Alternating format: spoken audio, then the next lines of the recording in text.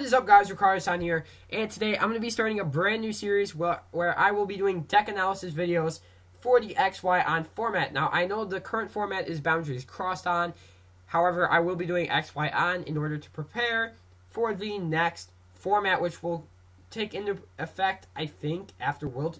I know after World Championships, obviously. Uh, I'm not sure exactly when it'll take into effect, probably when Ancient Origins comes out.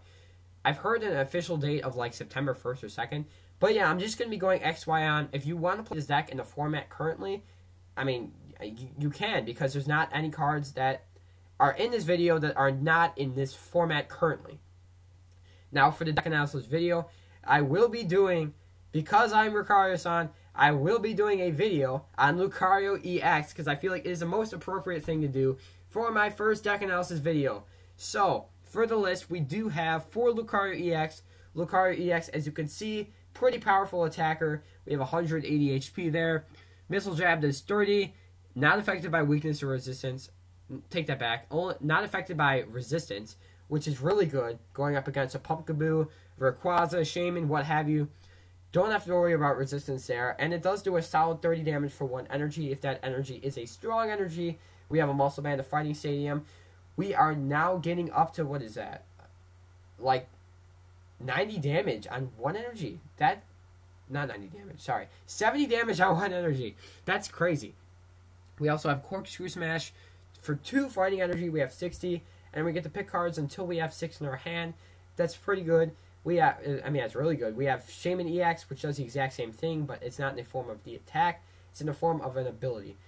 And then we also have Somersault Kick for 3 fighting energy. We do 100 damage. That's pretty good. Now, we have four Lucario EX because this is a Lucario deck. I would include include Landorus EX from Boundaries Crossed, but that will not be legal in the XY on format. Now, for the other Pokemon, I do have two Hawlucha. Hawlucha only has 70 HP. Its ability, damage from this Pokemon's attacks aren't affected by weakness or resistance. That's kind of a double-edged sword because you have Pokemon like Rayquaza where you where you don't want to worry about resistance, but then you have Pokemon like Manectric, where you do want to worry about weakness, because you will be doing that two times damage if you can get weakness, but you won't with this ability, which is a drawback. For one energy, we have Flying Press for 60. If your opponent's active Pokemon isn't an EX, it does nothing. Regardless of the effect, one fighting energy doing 60 damage is phenomenal. Like, that's insane. Back in base set, we had Hitmonchan doing 20 for one. Now we have 60 for one. I mean, that's just really good. I mean, combined with strong energy, all the fighting support we have now, that's really good. Now for the supporters, we have four Professor Sycamore. We have four Birch's observations, two Lysandre. That should be the standard for XY on. I'm not exactly sure because not many people talk about it because that's not the format now. I believe this will be the standard though along with maybe attack of one or two Ace Trainer from Ancient Origins. We also run 4 Korrina because this is a fighting type deck. Search your deck for a fighting Pokemon and an item card. This is like Skyla, but like better. I, I don't. This, this is amazing. This is why more people should run fighting decks because we have Korrina. I mean, Korrina is just so powerful. You can search for any item card you want, along with building up your bench with fighting Pokemon. We also have Two Team Flare Grunt. Now, I decided to make this deck sort of a disruption based deck, mainly because we have cards like Hypnotoxic Laser, Landorus EX taken out. I decided it would be a cool thing to do to make this more of a disruption deck, which is also why we have a tech of 1 Xerosic. Now, for the items, we have 4 Ultra Ball, 3 VS Seeker, 4 Muscle Band, pretty standard stuff. We also have for disruption, we have 4 Crushing Hammer.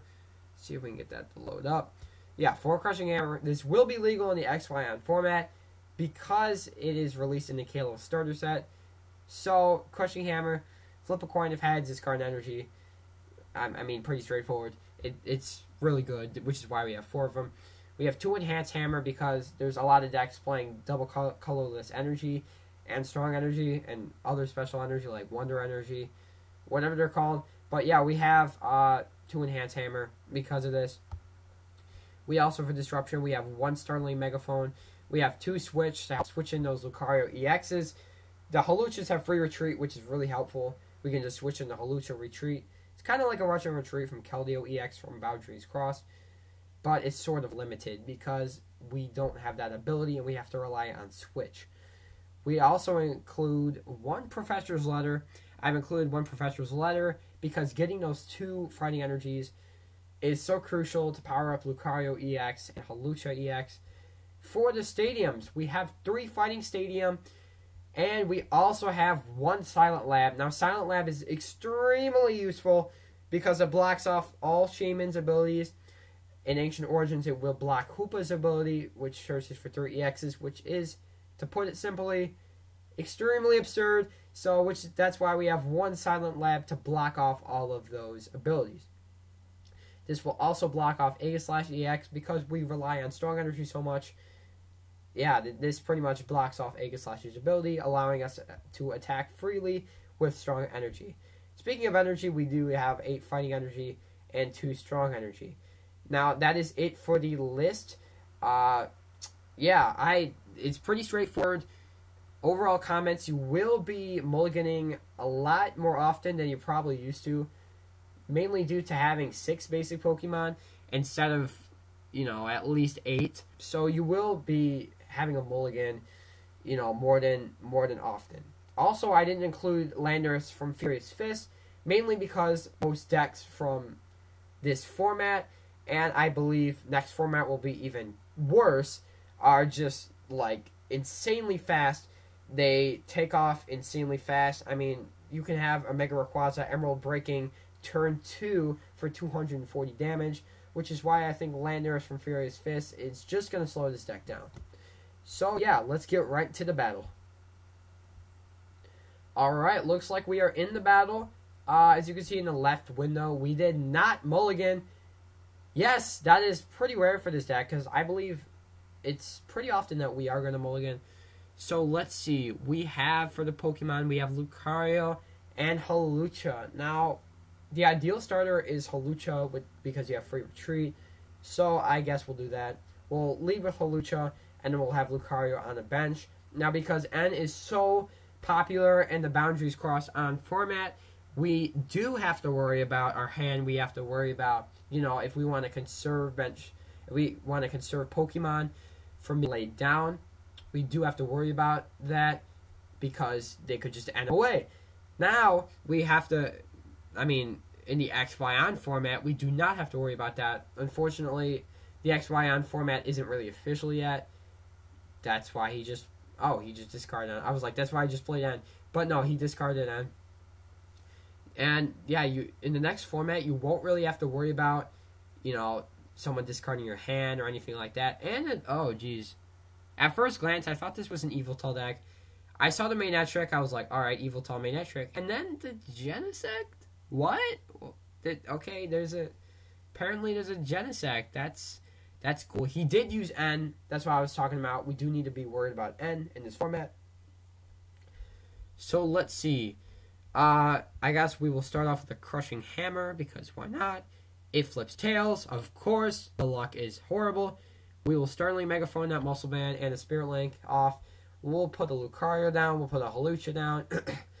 we'll put I'm thinking about attacking with Hawlucha instead of retreating because of that ability. And, okay, his ability of choice is Rough Seas. Oh, okay. I, I would expect like a Shadow Circle or something. But yeah, I guess we'll just draw, draw on the Fighting Energy and the Muscle Band on the Hawlucha. We'll Sycamore, getting a fresh new hand. We'll replace that Rough Seas with Fighting Stadium. We didn't draw any more Crushing Hammer. And I guess we can VS Seeker for the Sycamore, but we won't do that. Ultra Ball isn't really necessary. Team Flare Grunt could remove an energy from Yveltal in the future, but I guess we'll just do Flying Press for a hundred damage. That is why it's so powerful, everyone. Sorry, Flying Press does so much damage if used correctly. Now, he does decide to put a DCE on, as expected. He played N again. This is why I don't like playing in the BCR format playing an XY deck because you don't have to worry about N in the XYN format. Now let's see. Let's think about this. So he has a hundred damage. Okay, that's a KO as expected. So Lucario EX is missile jab, not affected by resistance. That's the beauty of it. I know we can do. So wait. Oh, we're, we're timed on the new Pokemon. So we'll send in Lucario. Now, here's the best part. Here's what we'll do. I guess we'll lay on both Lucarios, because why not? We'll put a strong energy on Lucario. So right now, Missile Jab, because it does not affect resistance, does 50, leaving Yveltal at 150. Fighting Stadium does knock it out, but for the lulls, we'll grab Muscle Band too. So, I don't think we have any. Yeah, we. uh I guess our last Hawlucha is prized. So, we'll go for the Muscle Band. I would say that's a perfect knockout, but it's it's not it's not a perfect knockout. It is 20 damage over a perfect knockout. So yeah, we'll missile jab for the knockout. Pretty it's pretty fair knockout. So we ah man, we got another Ultra Ball and it okay, that's not what we needed. Three Ultra Balls in our hand. He better play an N again. So he does bring up that baby Yveltal, allowing him to recycle energy back onto his Pokemon. I guess that Genesect is used for attack, but to red signal, that must mean that must mean that like he's playing attack of like two plasma energy. Seems kind of odd for an Yveltal deck. So yes, he does Oblivion Wing energy. He's probably on Yveltal. We do pull a Sycamore. Now the question is whether to discard all these Ultra Balls or not. I'm guessing we should because I mean there's really no use for them. So we'll put a Fighting Energy on Lucario. We'll Sycamore out away the three Golden Ultra Balls. Uh, now if I know we pulled two Strong Energies, I wouldn't have attached a Fighting Energy right then, but I did not. So let's see. Could we knock this thing out? We got 60 damage from Corkscrew Smash. We have the Muscle Band and, and the Strong Energy. That's 100 damage. Plus the Fighting Stadium. Minus the Resistance. So that's not going to be knocking it out. Unfortunately. I guess we could Missile Jab. Because that'd be doing the same amount of... No, that'd be doing... That'd be doing 20 less, actually. I guess we'll just... Yeah, Corkscrew Smash. Yeah, sure. Corkscrew Smash for 80. We will be knocking it out next turn. Now, Darkrai does provide Yveltal free retreat. Let's see how much Yveltal will be doing. If he does choose to attack next turn, so because he can retreat and bring an Yveltal, so Yveltal will be doing 20, 40, 60, 80, 100, 120. That will be 10 short of knocking it out. Yes, unless they pull a Muscle Band and attach it to Yveltal EX, we will be living by 10 health.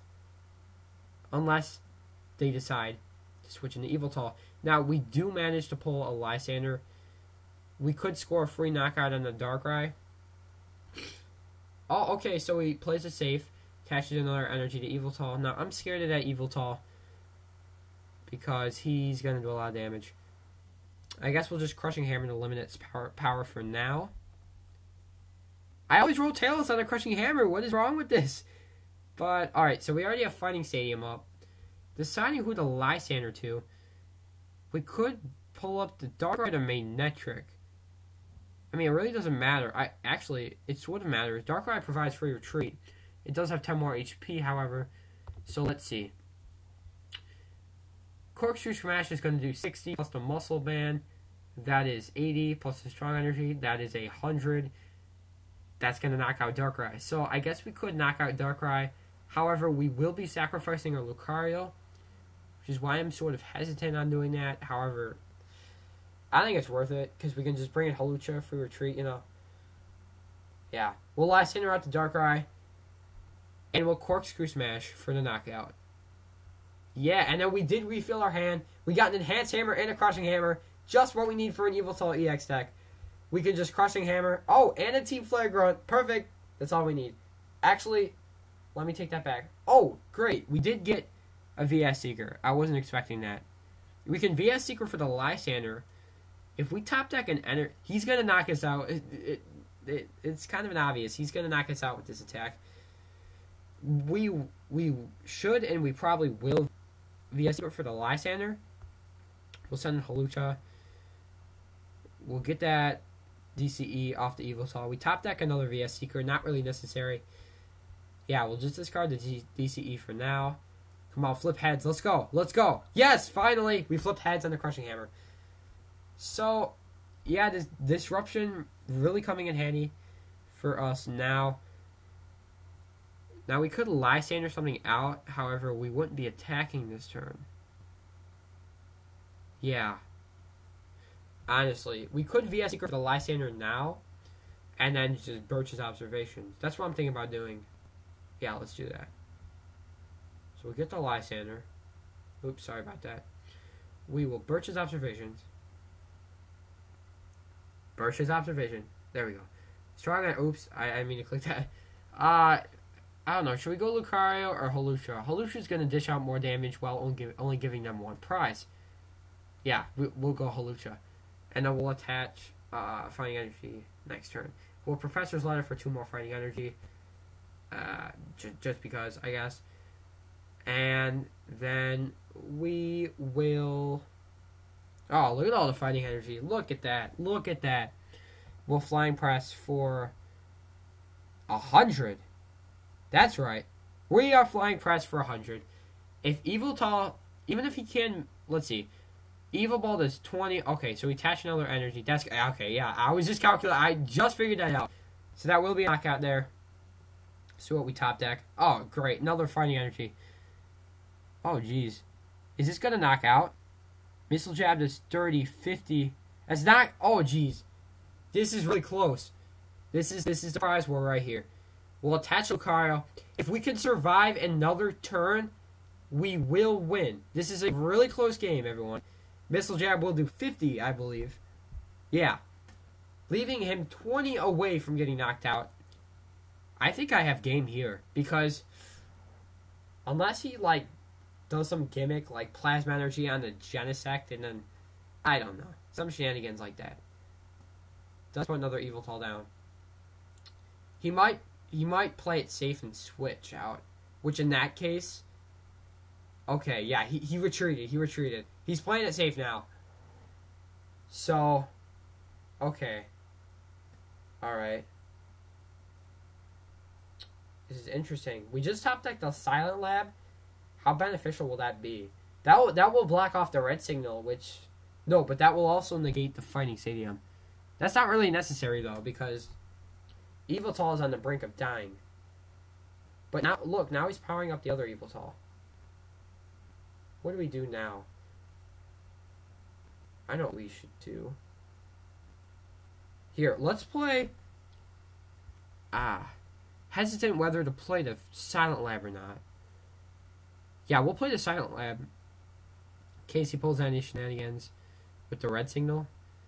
We'll Ultra Ball away to two energies, and then not get anything. Just to get, I mean, more cards from that Corkscrew Smash.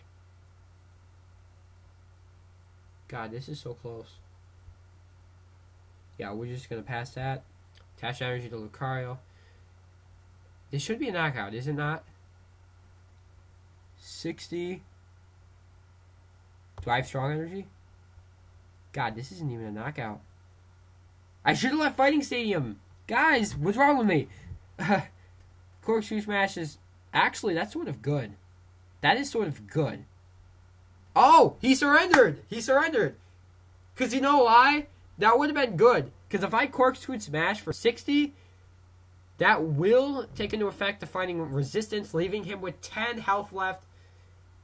And then by then, I probably, I, I would have refilled my hand up to six, and then I would have probably got Seeker or something, or maybe a Lysandre to Lysandre him out.